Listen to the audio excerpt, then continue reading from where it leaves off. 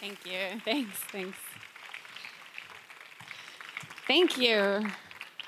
Hi, good afternoon. It's incredible to be here. Oh my goodness, this is my first time at Campus Party, and it's amazing. I wish I had had this opportunity when I was in university. So, thank you for inviting me to be here, and thank you for being here to listen to, to what I have to say today.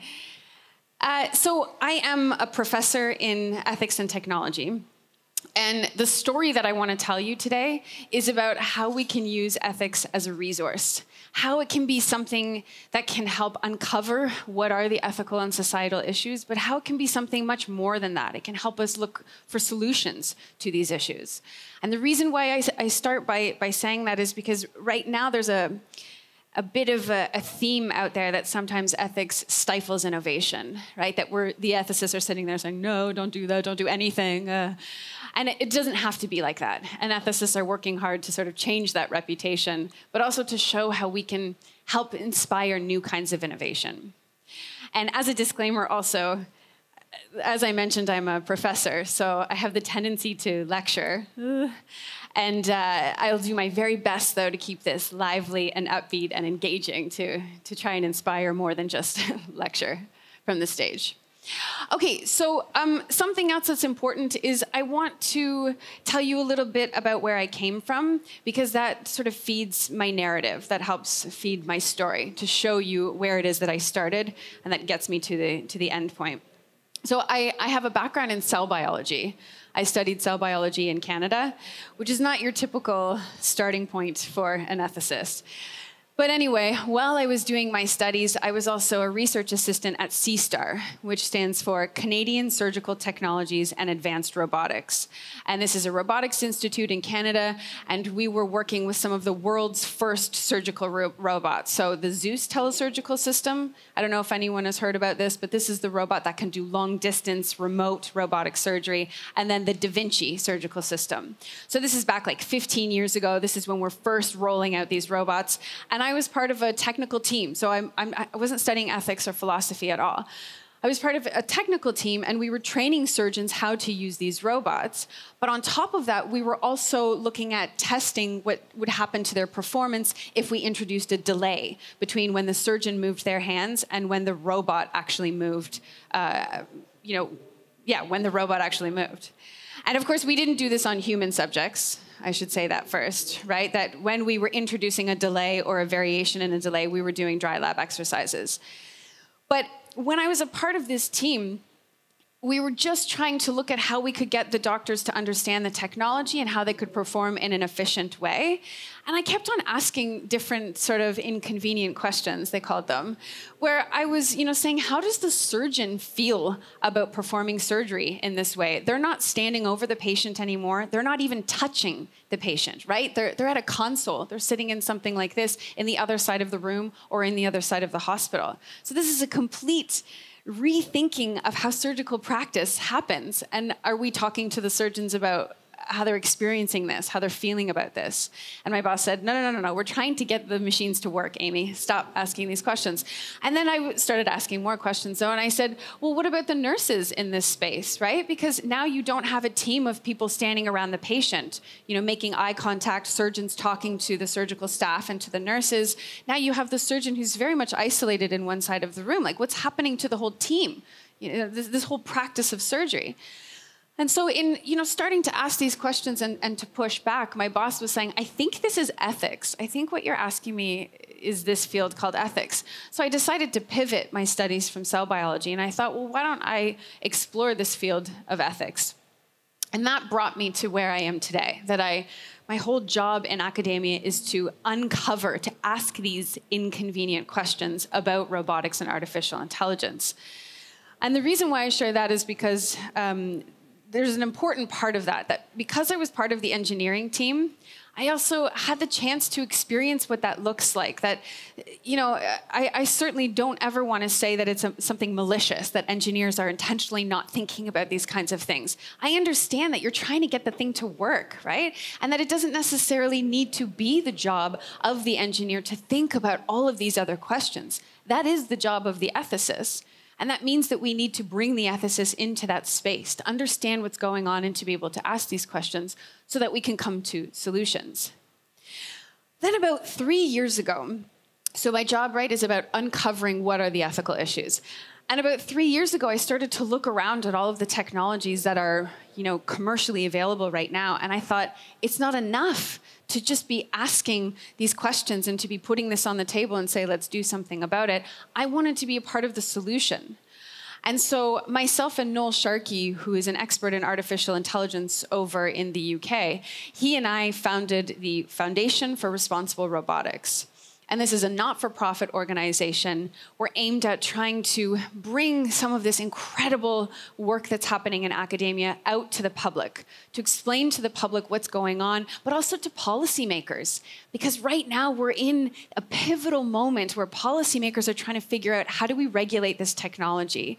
I'm, I'm part of the European Commission high level expert group on artificial intelligence, and we've just created AI ethics guidelines and suggestions for regulation. So it's very much, you know, we don't have the answers right now. We are asking the questions and trying to work together with policymakers to figure out how do we go forward? What, what are we supposed to do?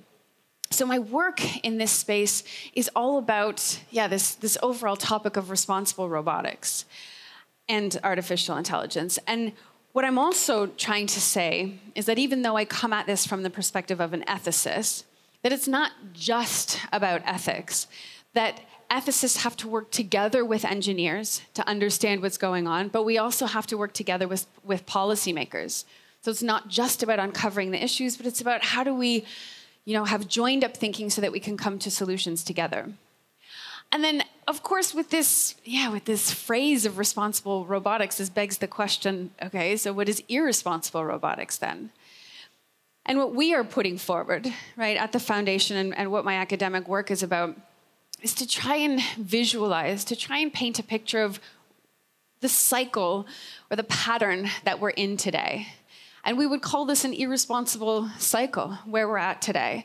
And one, you know, point feeds into the other. So this idea that there are very few incentives for companies to want to do better. And with a lack of incentives, this leads companies just to creating bad products. And again, I'm not saying that companies are maliciously and intentionally trying to do this, but if you don't have something that's pushing you to do better or to do it differently, that's the situation you'll be in. And what I mean by bad products are products that erode societal values, values like privacy, sustainability, democracy, well being, whether it's health or psychological. So we have products that are, yeah, challenging these values. And these values, this is what ethics is about studying. And when you have a challenge to these values and you feel powerless, you have consumers who are dependent on the products, the companies that don't care to do anything. And so it leads us into a situation where there's a lack of accountability on the part of companies. And this lack of accountability then feeds into if you don't have to be accountable, why bother looking for incentives to do better? To give an example of what I mean here, we could talk about privacy, we could talk about a variety of different things, but we could also just consider electronic waste, right?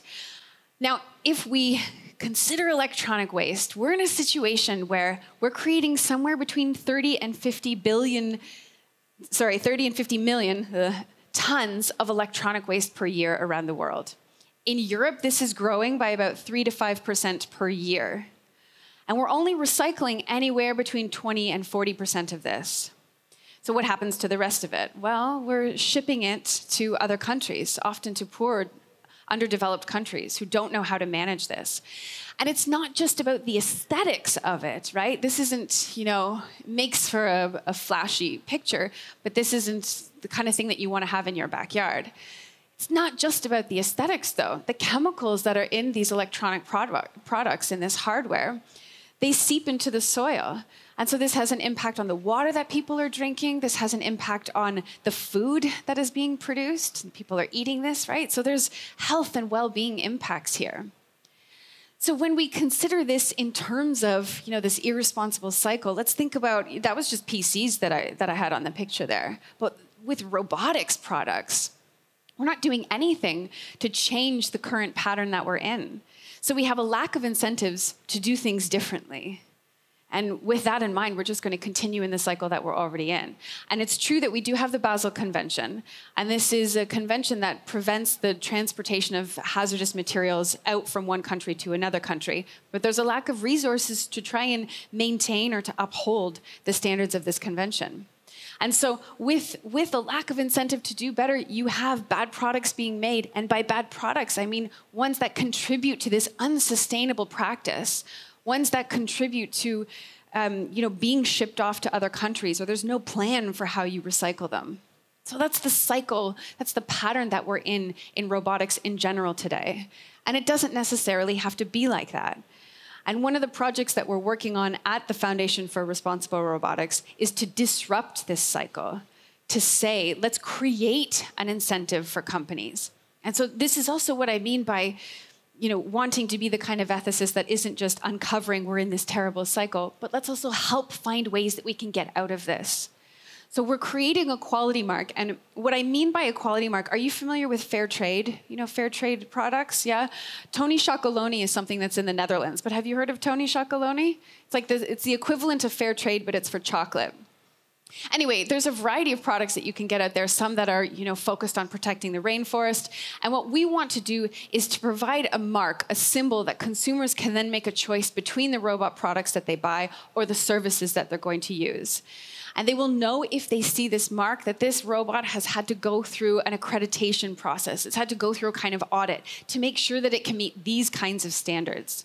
So we want to create an incentive for companies, but we also want to empower the consumer so that they can make a choice about the kind of products that they're buying. So that's one of the things that I'm working on. But what I wanted to really focus in on today was a different issue related to this, you know, irresponsible practice. And that issue has to do with um, the place of, of women in robotics, what it's like to be a woman in robotics, but also the fact that you know, there's a lot of talk about the lack of women in STEM in general science, technology, engineering, and mathematics. And it's one thing to, to talk about the fact that we have this lack, but it's another thing to look at the downstream consequences of this. Where does this take this? You know, if we roll out the fact that we have this current situation, where is this going to take us in the end? And so, what I want to put on the table is this idea that it's kind of like a cycle within the cycle, right? I was talking about irresponsible robotics. And now, this is the vicious cycle of women in robotics that we start with this idea that there's a lack of women in STEM, and it leads us to the idea that we have a gender data gap. And I borrow that phrase from Caroline Criado Perez, who talks about, she's got this fantastic book called Invisible Woman. Anyway, with, with the lack of the female presence, we have the creation of something called the gender data gap, which leads us into a situation where we have gendered products, and this gendering of the products can result in an unequal impact of the product on women and men. So I'll get into that a little bit later, but what I want to, to look at is how ethics can be helpful in you know, visualizing this and understanding what is going on here, but in also finding ways to disrupt this cycle. And in order for me to do that, I have to say a little bit, just a little bit, about what ethics actually is. And so, if there's any philosophy students or ethics students in the audience, of course, I can't give credit to ethics in you know 10 seconds or left, less, but but I try. Essentially, Ethics is about what it means to be a good person, what it means to act well, to live well. And one of the more common older traditions is about looking at ethics as the study of the good life, what it is and how we can achieve it. And that it's this ongoing practice. Ethics isn't just a checklist, it's not just a one time event. Technology is confronting us with new choices, new possibilities, and ethics is about constantly looking at how do we evaluate these new choices? How do we evaluate these new technologies? And we use the language of values and principles to talk about this thing called the good life because it's very it's really abstract, you know, to, to really put your finger on it or to grasp it. But when we talk about values like well-being or privacy, sustainability, democracy, these are the elements of a good life. You know, when you believe that you live in a democratic society, you believe that your voice has meaning, that it carries a message, and that contributes to you feeling fulfilled, feeling like that you have a good life. When you have the opportunity for education, when you have the opportunity for healthcare, right? These are all things that contribute to you believing that you have a good life. So, ethics is about painting a picture of what the good life is in terms of values and also how you can realize this picture.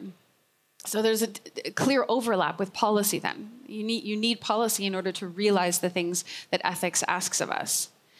And so, when we're talking about robot ethics, then, robot ethics is the study of the impact of robotics and sometimes artificial intelligence, if that's the software driving the robot, on the good life. So, how could robots change our perception of what the good life is? Or how could robots change what it means to achieve it? So when you know when you're thinking about the impact of technology, this this can happen in multiple ways, right? You can have technology that uh, changes a component of the good life. So if you think about the internet today, right? So I guess you probably don't remember life before the internet, though, do you? But there was life actually before the internet surprisingly. And, um, and now the internet has changed, or the ability to have you know, a smartphone and to be connected immediately. This has now become a component of the good life. Could you imagine not being connected? like not having the internet? Oh my goodness. Wouldn't that, I, I don't know, sometimes people go on detoxes and they don't want to have that, but for the most part, don't you get a feeling of anxiety? Or am I of a different generation where now we get a feeling of anxiety when we don't, when we're, when we're not connected? So that's showing how technology has actually created this new component of the good life, of what it means to feel fulfilled. And then on the other hand, you can see that technology can play a different kind of role, right? Relationships, family, being connected. These are things were, that are and were important before technology came into the scene. But we can also see in this you know, new globalized world where people live at a distance from their friends and family, technology can actually create an opportunity for you to maintain those relationships, to create new ones as well, but but to maintain those relationships. So it's not like it's created a new component that relationships are important, but it helps you achieve them. So the question that robot ethics is looking at is, you know, what is going to be the impact of robots? When people are lonely, is it going to be a requirement then that they have a robot to help with their loneliness? It's also looking at not just once you make the technology, then what are the ethical issues? It looks at the entire life cycle of the robot. So how do we what are the issues related to the design, to the development, to the use, to the regulation? So it's this whole holistic picture of what's going on in robotics. Now, to give you an idea of some of the specific ethical issues that robot ethics looks at, and you know, there's, there's more than I can give credit to in, in the time that I have to speak, but privacy is a huge one. Maybe I'm in my own echo chamber, but I imagine that people have heard you know that privacy is like something that a lot of people are thinking about today privacy in terms of control over one's data and now, you know, we have divergent schools of thought. Some people are thinking, before I do anything, I want to see the terms and conditions. I don't know if you've spent time actually reading the terms of all of the cookies now. It takes a long time. But, you know, we're in a situation where people want to know what is it that you're taking? What are you going to use it for? And then we also have another group of individuals that don't care, that are just like, ah, oh, fine. As long as I get my free services, that's fine. Do what you need to do. We can figure that stuff out later. But regardless, there is a situation where, you know, and robot ethics is studying what are the issues related to privacy in terms of control of data. And it's important to note that the robot, you know, right now robots are mostly in factories, but robots are more and more becoming a part of our personal and professional lives. That we see robots in banks, in grocery stores. Robots may be delivering your groceries at a certain point in time. And so once you start interacting with the robot, it becomes an incredible vessel for collecting data right? And you won't know what it's collecting. Perhaps it's taking a picture of your face, perhaps it's recording your voice, perhaps it's trying to gauge your emotional expression. But the point is that this is very much an issue that we need to understand and to think about and talk about and to look for solutions to figure out what is the right way of moving forward when robots are interacting with us in that way. And then there's privacy issues that go a little bit further than just control over the data, but that touch on safety and security. I'm not sure if you're familiar with Hello Barbie. I imagine you've heard of Barbie, though. But Hello Barbie was the AI powered Barbie. So it was Barbie that had AI in it, but that's still up for debate. Anyway, there was something like 800 pre recorded sentences that were stored on a server, and when the child would ask a question to Barbie, it could pick from these sentences, you know, spit back one of them. It would keep a record or a file of all of the conversations and questions that had been asked so that it could, you know, learn over time and create a more intuitive interaction. And this was just hooked up to, you know, the house's Wi-Fi. That's all it was using.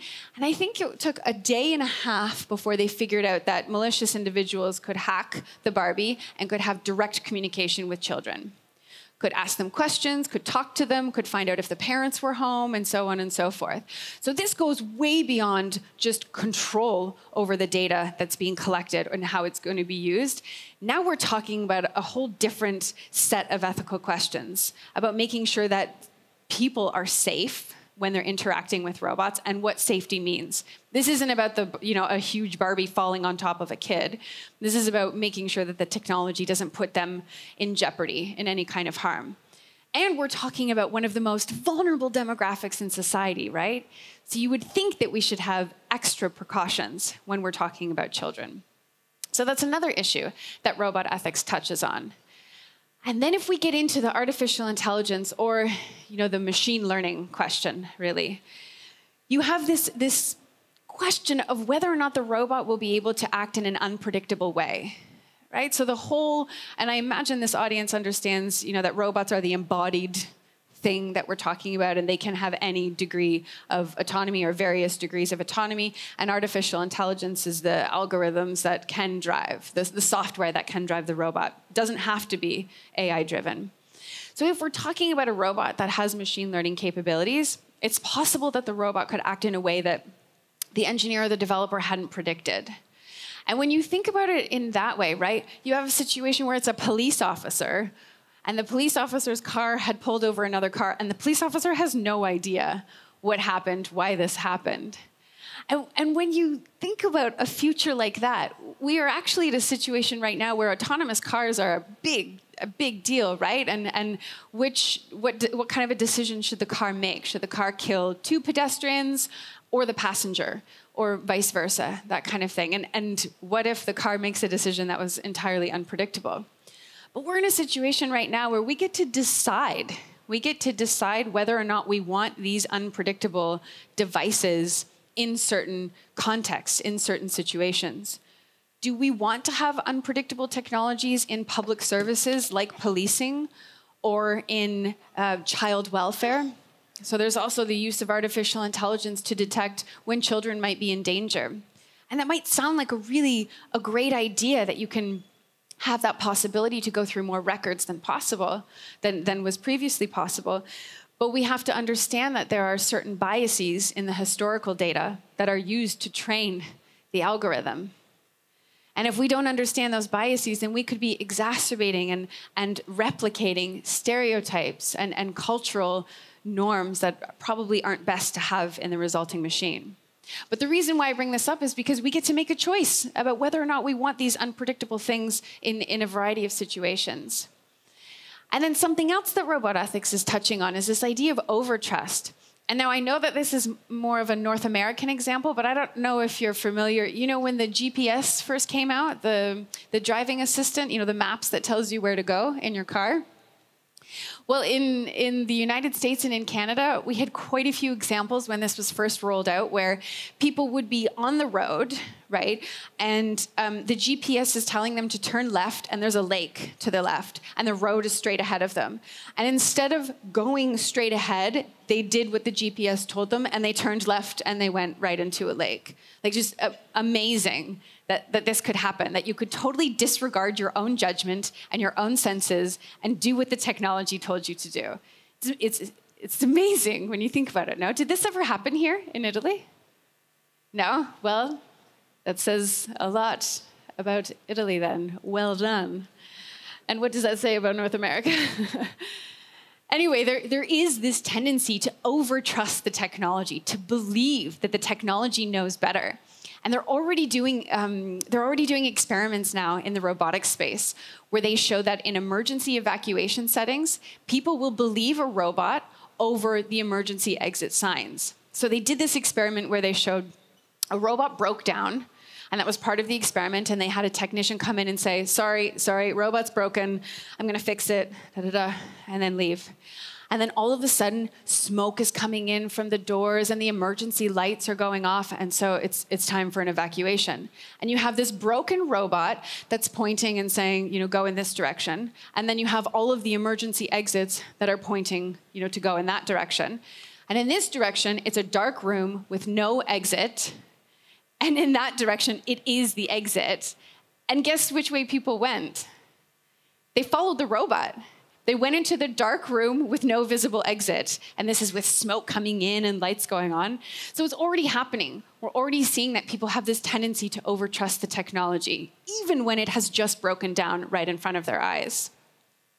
So, the reason why I bring up some of those examples when you have unpredictability, this willingness to overtrust the technology, and, and you know, safety and security and privacy issues, one of the first things that robot ethics asks of us is to change the question from what can robotics and artificial intelligence do to what should robotics and artificial intelligence do for us. So it's not just about, well, we can create this really cool toy that hackers can actually get into and communicate directly with your children. Should we be doing this? Should we be creating this kind of toy that can interact with one of the most vulnerable demographics out there? So that's the first thing that robot asks of us. But now getting closer into the, the, you know, the meat or the crux of what it is that I wanted to talk about, there's also something different than just you know, looking at, well, we have this technology and now what has happened. Ethics can, you know, has traditionally be used, been used in this way when you have something like the Hello Barbie and you make it and you go through your product development and then you use it in the wild as a kind of a social experiment or a real world experiment, and then that's when you look at ethics. But instead, we're starting to see a shift now instead of making ethics this kind of tag on at the end, what if we start with ethics? Or what if we have ethics as something that accompanies the entire product development, the entire life cycle of the robot or the machine learning algorithm development? So let's look at one particular example and see how this feeds into the, you know, this idea of the lack of women in STEM and this vicious cycle it's a, a common uh, theme right now in the news that people are worried about robotics, automation, artificial intelligence, and the impact that this is going to have on the labor market. That it's taking people's jobs, right? The cartoon is meant to depict that the robot or the AI outperforms humans every time. And so if that happens, you're going to lose your job. And then, I mean, there's report after report uh, McKinsey, Deloitte, Accenture talking about how it's anywhere from, I don't know, 15% to 47% of jobs that will be replaced by robotics and or automation.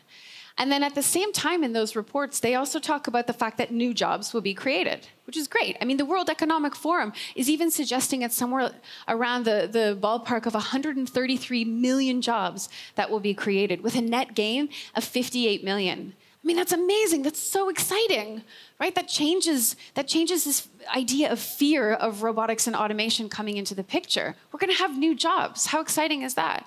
And then in that same report by the World Economic Forum, they talk about what area these jobs will be in.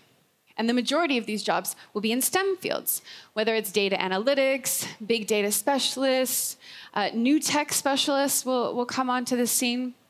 But the point is that it will be in some variation in STEM fields. And then when you start to get deeper into this conversation and you realize, well, who is in these STEM fields right now? And you look across the globe, with the exception of some Eastern European countries, um, but across the globe, you see a disproportionate representation of people who are in STEM fields. That the majority of these people are men, with anywhere between um, 12% and 20 26% of the population being female. So in the UK, it's somewhere around uh, 9 to 11%. In the United States, it's around 26%. It's higher in places like uh, Latvia, where traditionally jobs were assigned to people, or your education was assigned to you. You didn't have much of a choice. So there's much more of a, of a different kind of balance. So when you look at it that way, that's where you get into this, yeah, really sticky conversation about it's not just about a lack of female presence in these different fields, but we're in the process of creating something like a gender gender data gap that Caroline Criado Perez is talking about, or Perez, sorry, is talking about. And the kinds of examples that she talks about in her book are how this lack of paying attention to the female experience or to the female sort of in general has had a weird kind of rollout effect. And she gives the example of seatbelts and how when you look at car accidents it looks like women are worse drivers than men because in the accidents they suffer you know much more traumatic harms to the body. But when you look at it in a different way it has to do with the way that seatbelts were made that they were made for the male body and not for the female body or when you look at the pharmaceutical industry, that the majority of clinical trials happen on the male body and not the female body. And so you have some terrible side effects and consequences that females have had to, to go through just because drugs weren't tested on them. They weren't considered, you know, an adequate and appropriate uh, sampling for, the, for drug testing. So it's, it's about much more than just, you know, we have a lack of women in this space, but this lack of, of listening to the female voice or that perspective is actually resulted in bad products, right? Drugs that don't target what's actually going on, or seatbelts that aren't, you know, conforming to the physiology of the individual. So it's much more than just numbers, it's the creation of bad products. So if we take this way of thinking and look at it in the robotics space, and we say okay let's let's suggest that we have something like a gender data gap. If there's so few women let's let's you know use our imaginations and explore this. And could this result in gendered robotics and ai you know robot products that exacerbate certain stereotypes about one gender over another. And could this then lead to some sort of disproportionate impact on women? You know that that maybe maybe women feel the benefits or the risks differently than men do. And this is all a hypothesis right now, right? So I'm, I'm saying this as putting the question on the table. This, this is a possibility based on the work that's already been done in a different space. And so, to give a, a few examples of how we might look at studying this or uncovering this, I go back to the surgical robots example, uh, back to where I started. And I spent a lot of time talking with the nurses about you know, what what this meant for them having the robot in, in their space now. And they used to tell me that, you know, nobody was paying attention to the fact that now their jobs have completely changed. So robotic surgery is a part of minimally invasive surgery. The idea that if you're doing something like a heart surgery, normally you would have to crack open the sternum, and that's how you could get at the heart. But now with the robot, you can do these incisions, yeah? You put the robotic arms into the patient, so you completely decrease the recovery time, right? You're not waiting for the, for the patient's sternum to heal before you send them home. That means they're going home a lot faster. But that means someone has to take care of them at home. You don't have a nurse there to take care of you. So now the nurses are in a position where they have to train the people who are going to be at home how to take care of the patient who's going home earlier. And nobody was talking about that. And the nurses had no idea you know, that A, they should be doing this, and B, what is a good way or a right way of doing this? And should there be different kinds of follow up? So the way that the robot was being evaluated was just in terms of how efficiently could it be done. And while I'm certainly not here to say we don't need to pay attention to efficiency, I'm just here to say that the way we evaluate technologies should be much broader than just the efficiency of the technology. We should look at the whole practice because surgery is much bigger than just that moment, right? You have pre op, post op, there's a whole team of people who are involved. And so we should be paying attention to the team. So perhaps, perhaps this idea of a lack of paying attention to the female voice puts us in a situation where we're evaluating the technology in a gendered way. And I say this knowing full well that this is making an assumption that one gender is the curer, the, the surgeon, and another gender is the carer. So I, I, I say that, I acknowledge that, and I, I bracket that. Not only is it not about paying attention to the experiences of women, but what about the gendering of the technology? Right? And so when you look at a lot of the home assistants that are available today, so Siri, Google Home, Amazon Alexa, the majority of these have a female voice.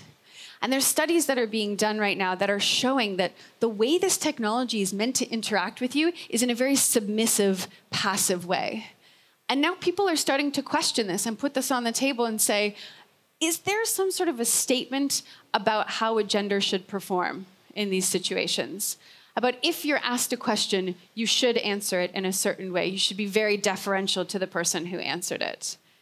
Right? So people are just starting to pick at that, but are we reinforcing gender stereotypes in the way that we create robotics products? a question that's open. Another thing has to do with how people will perceive or be impacted by the robots. And so, a big topic of consideration today are sex robots. In the top left hand corner, this is Harmony. Am I allowed to say sex?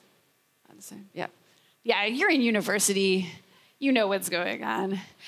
Um, anyway, so sex robots are a thing. I don't know if anyone knew that, but robots that you can actually be. uh, robots that you can actually be intimate with and physical with some of them are meant to be just sort of a one off, that kind of thing. Others are meant to actually be more companionship like.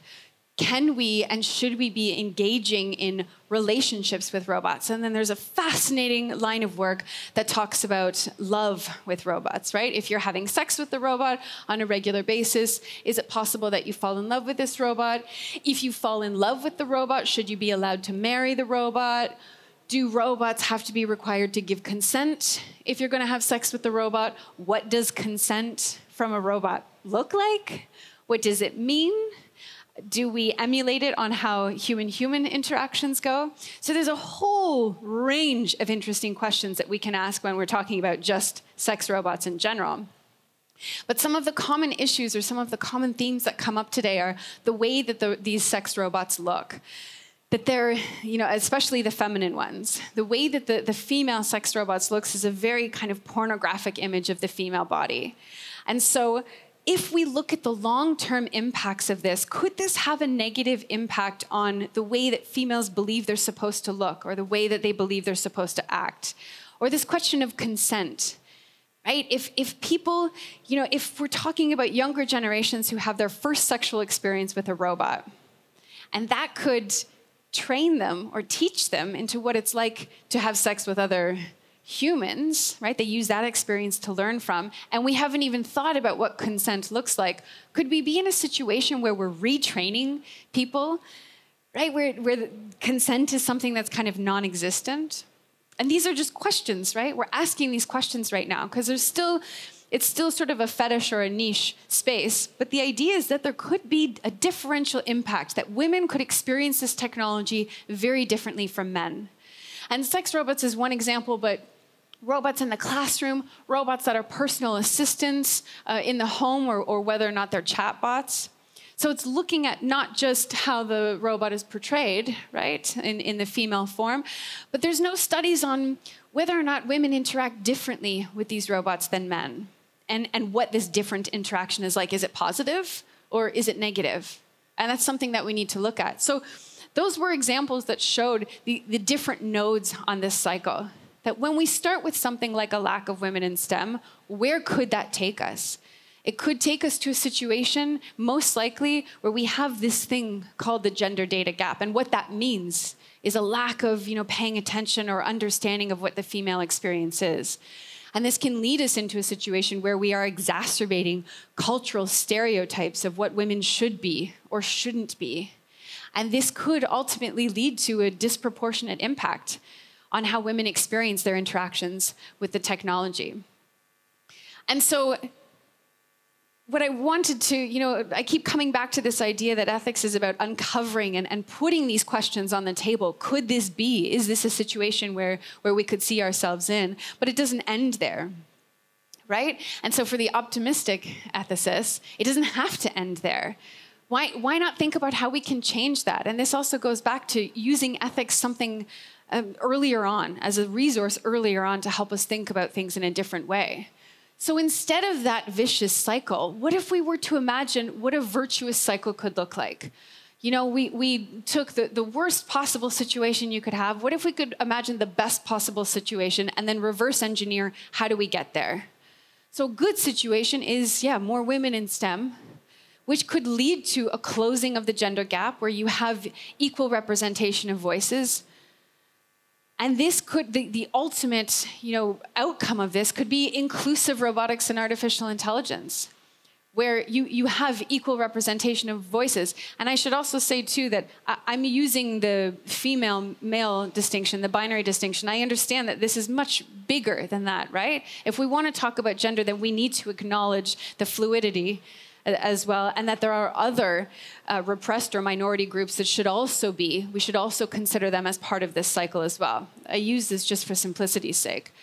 But the idea is with inclusive robotics and artificial intelligence, we can get ourselves closer to products that have equal risks and benefits between all stakeholders or all people in society. And so, you know, it's it's one thing for us to say, "Oh, this is great. Let's just do this virtuous cycle, la la la," and then we're done. But we have to go further than that, and we have to make sure, you know, this is what responsible robotics is about: identifying, okay, nice story, but now who is responsible, and what is it exactly that they're responsible for? And if we go back to this diagram, we can see so for more women in STEM, there's a call to policymakers and, and to educators to, to realize this, to create policy that actually enforces this, makes this a reality. They've shown there's a lot of research out there that shows that if women have female role models, this is a huge bonus. This, is, this helps get younger girls encouraged in the topic and wanting to be there seeing that that's something that they can do and, and facilitating it. So there's a call for policymakers and for educators if we're talking about just getting women in STEM. If we're talking about closing the gender gap or understanding what does inclusive robotics and AI mean, what are equal benefits, we need new ways of testing this. We need new empirical methods, qualitative and quantitative. And this is for academics and for industry alike. Right? How do we come up with new ways of studying this, new ways of, of measuring this and evaluating this? So there are specific things that people can actually do. And it's not just about the ethicists. So this goes back to my thing where I'm, I'm not trying to say that ethics is going to solve all of the world's problems. Ethics is there to uncover this is, this is where we could go. But th- maybe this is another alternative. And in order to get there, you need the cooperation and the joined up thinking of the ethicists with the engineers and the policymakers to actually realize this. So, my last slide. So, finally, just as a recap, again, sorry, this is the, the teacher, but just to make sure that we're all on the same page, yeah? I want to make sure that there's a, a couple of takeaway messages for you. Where I started this talk was looking at different kinds of vicious cycles, right? So, I was looking at this idea of irresponsible robotics and what that might look like. The lack of incentives for companies the lack of you know a need to do better which puts consumers in this disempowered position. And i looked at one specific cycle within this cycle and that was the lack of women in stem and how that you know there's this cycle that keeps on feeding itself. And that ethics can be used not only to point out the fact that we're in this cycle, but also to disrupt it, to create different kinds of incentives, to point out how we might actually be able to disrupt it. And that one of the important questions that ethics asks of us is to make a distinction between can versus should. Yes, we can do a lot of things, but that doesn't mean that we necessarily should do all of them or any of them. And that it's not just about ethics and that ethics is going to solve all of the world's problems. It's about joined up thinking between ethicists, between legal scholars, but also policymakers, and between all of the engineering disciplines in academia and in industry. I'm certainly not saying that academics can, can do this on their own or should do this on their own. And the last thing is that ethics can be used as this resource to paint a picture of what a virtuous cycle might look like and then it's up to us to reverse engineer this to figure out okay, if this is where we want to go, what do we have to do to actually get there? So, with that, thank you very much for being here and for your attention, and I'm happy to take questions.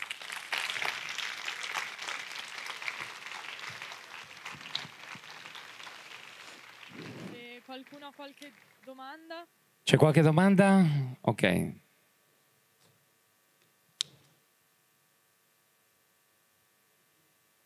Hi, thank you very much. A very big conference. Uh, my question is more like um, you are, um, I completely agree with all of what you said, but to bring awareness, because we are aware about this because we work, we study, or we do something related with technology, but to the rest of the world that maybe is scared, how is the awareness of uh, this uh, to break the cycles of irresponsible robotics is uh, going forward in the future and right now what is doing and how is it what are you, what are, I mean not you but in the people that are working in this kind of uh, topics are going forward to bring awareness about this Yep. So what can, you mean? What can you do? Is this getting back to you? Okay. Uh, that's a great point. Um, and I'm happy to hear that some of these things are familiar to you already because I know that if I'm speaking about this topic in a variety of different places, a lot of people say like, whoa, I, I didn't I didn't really think about that or this idea of a gender data gap. Like, what is that? And what, why should we care? So it's about thinking about the, the whole picture. But um, as a, a, woman in this space, and so I'm in the humanities now, but I come from science, I feel a certain responsibility uh, for myself to be on stage having this kind of conversation. And I think that there's a responsibility for, for other women to do that as well, because role models is such an important thing. So if somebody, some young female in the audience says, Oh my God, I didn't realize that was a job, you can be a robot ethicist.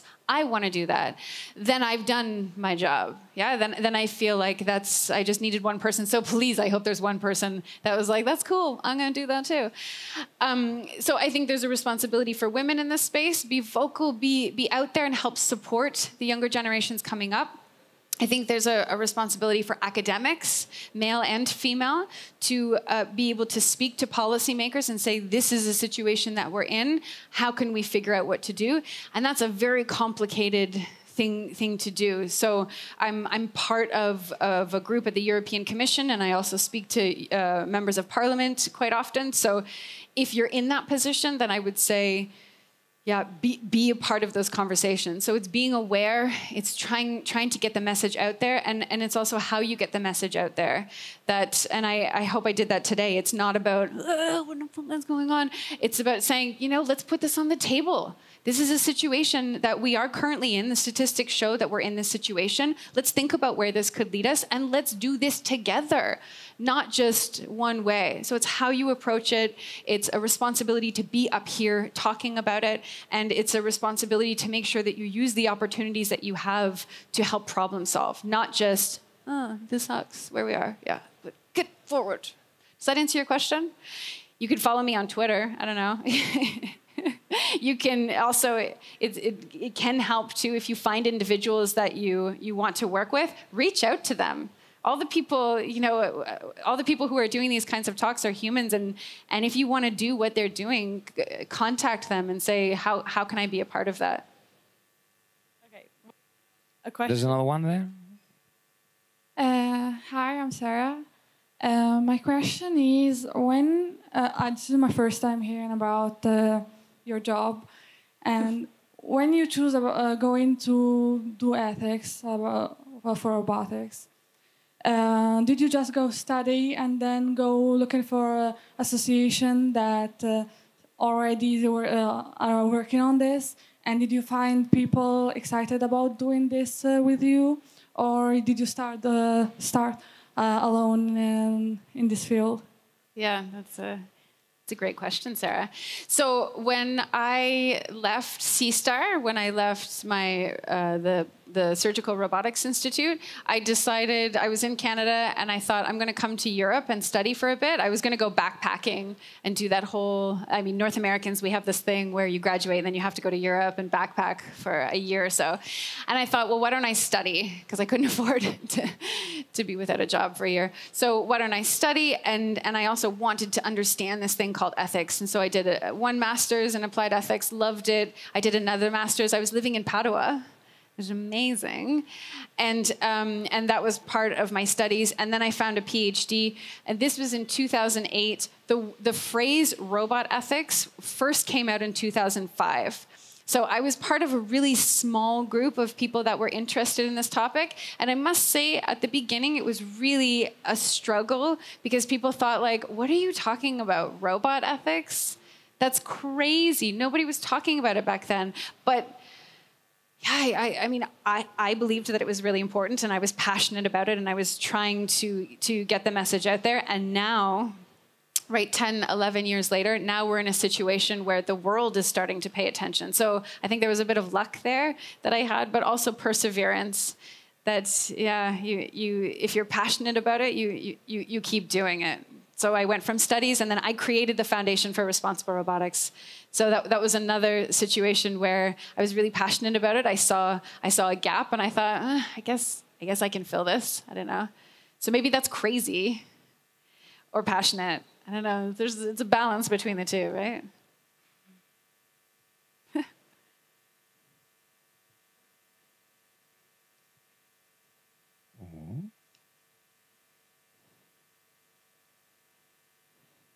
Well, I have my staff bring my microphone for me, so that's that's cool. Uh, you you talked about the um, overtrust of uh, robots and on technology, and so why why do you think that this happens?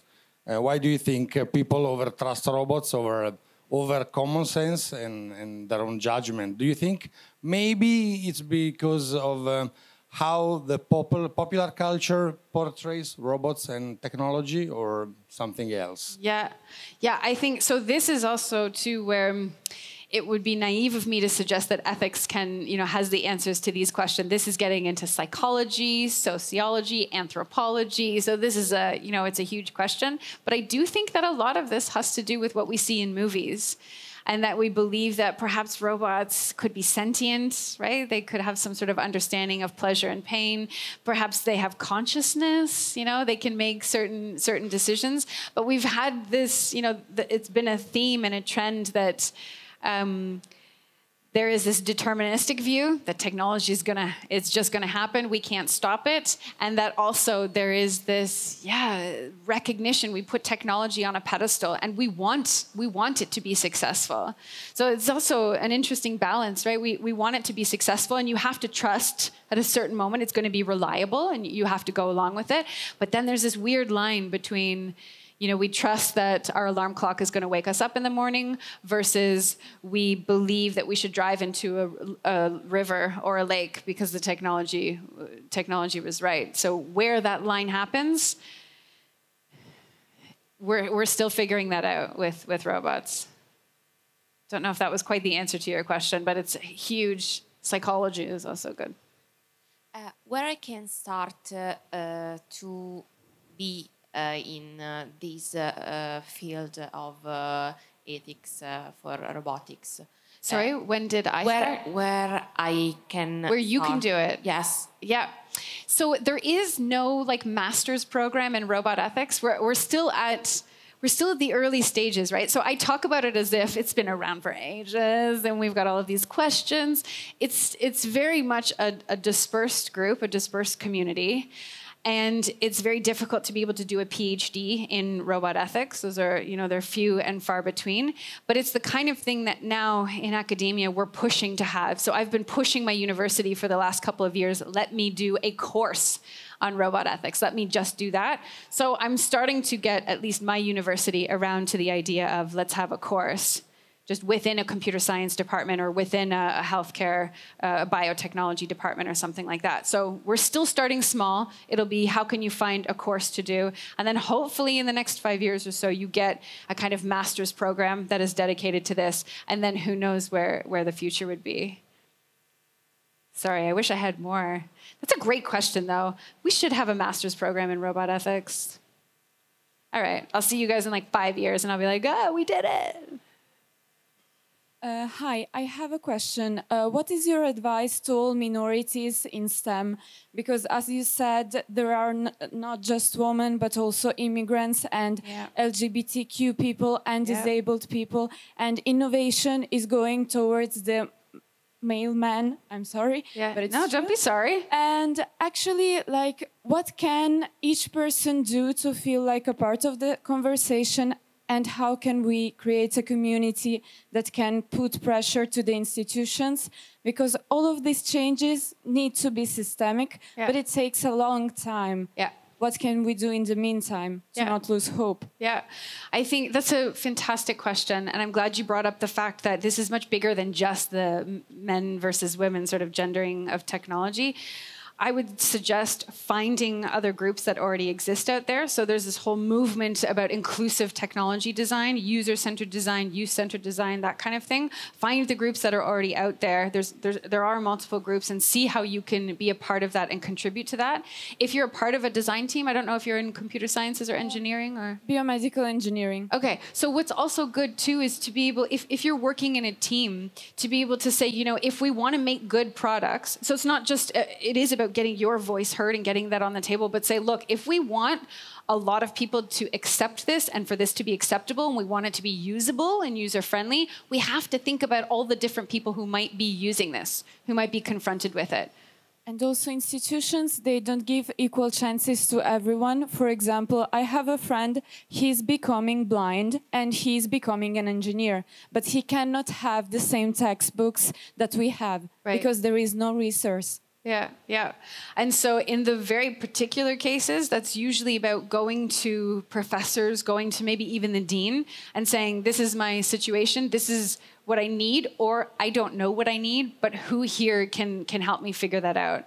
And I, yeah, so maybe it's not fair to say that academics are open to this, but they're not. Yeah. So so then find people outside of the academic community that can help build support or, or find solutions to it saying there is this textbook that might be an option. Can you fund it for me? Can you help me actually realize this and, and bring it there? So I think also there's there's something to be said for how the problem is put forward in, instead of, you know, accusatory or this, this this sucks. This is where I'm at, but just say like I really want to study this. This is what I want to do. Can you help me realize this? Can can we do this together. And that is a powerful story, one that no, very few people can say no to. To that, some people will, but but that's a difficult thing to turn down. To look at a student who's like, I want to be a student and to study engineering, and you say like, Nah, I don't have the time, uh, you know, and then go to the press with that. But many people don't believe it's an option when you're sick or disabled to become yeah. the person who fixes your problem. Yeah, no, I agree. And that's where it, it's true that society needs to, there's a lot that society has to do to, to change that way of thinking. Sorry, I don't have the answer to that. Okay, guys. So, last question. Do you have a last one? Thank you. Hello, hi. I was wondering, um, uh, what's your opinion about what politics and government should do Oof. to really make an impact uh, on responsible robotics? Yes. And if you think there should be like a, a big organization uh, worldwide, or uh, if uh, any nation should act uh, by itself, uh, what's your opinion about yeah, that? Yeah, yeah. Thank you. So, thank you. That's a great question. Um, right now, I run the Foundation for Responsible Robotics in the not for profit space, which is great because it means when people look at the foundation, they understand that we're not out there trying to make a profit. So, we have different incentives. It means we're creating something for a different reason.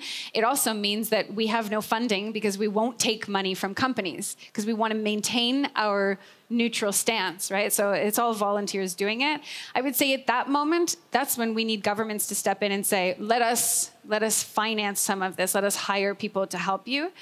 Um, but I also I don't want to say government, right? Because as we all hopefully know, every country has a different government and they function very differently right? And so, without getting too political about it, in some places in the world, I'm not sure if I would want that government, you know, in charge of what I do. So it's it's difficult to be able to say, yeah, the government should be helping this this kind of situation. Um, I do think the government has a role, though, also in paying attention to these small grassroots organizations, to the not-for-profits who are trying to do something and to come up because they have to create policy. So they should be paying attention. What are the things that these um, not activists, but these uh, you know people who are inspired and want to want to make a difference. What are they paying attention to? And perhaps we should also be paying attention to that. So we are trying to help governments put certain things on the agenda. I think it's important for governments to fund certain not-for-profit organizations, but I don't think that the regulation of technology, full stop, should always be up to the government. So I, I, I full-heartedly believe in the GDPR, and I think that's great. But there's also this weird race that's happening between uh, Europe as a whole and China and the United States in terms of artificial intelligence. And there are three different ways of thinking about society, and therefore ways of thinking about how technology should function in society. So it's a really tender you know, dance that, that you have to play. There is a relationship, but there should never be a dependence, a codependence between the two. So make a big applause to Emmy van Wijnsberg. Thank you so much.